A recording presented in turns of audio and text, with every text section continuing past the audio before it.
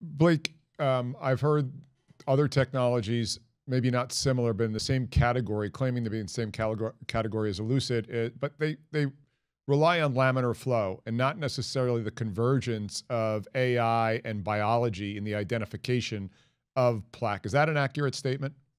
Yeah, so I think the simplest way uh, to understand the difference between what we're doing uh, with the Elucid technology and what many other tools seek to do is that our high watermark, what we compare ourselves to, is actual biology, actual tissue that's been removed and physically annotated by pathologists to determine true histopathology.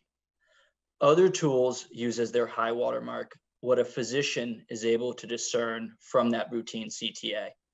And there's value in that. There's value in increasing the efficiency in which you're able to read those images and provide a treatment decision for that patient. But what we're seeking to do is go beyond what a human eye is capable of doing.